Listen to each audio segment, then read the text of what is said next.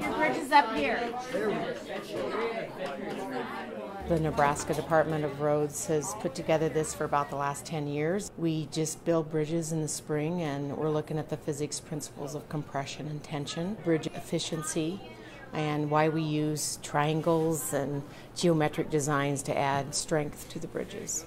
Curtis Marloff in the art department wanted a way to incorporate aesthetics into a bridge design, and it's sort of mushroomed into competition between toothpick bridges uh, on a I have a top 10 that goes back the 10 years, and some of some of the bridges have held um, 877 times their weight.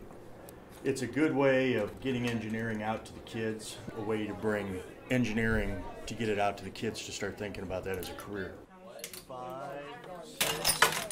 All right, one broke finally. First one to break.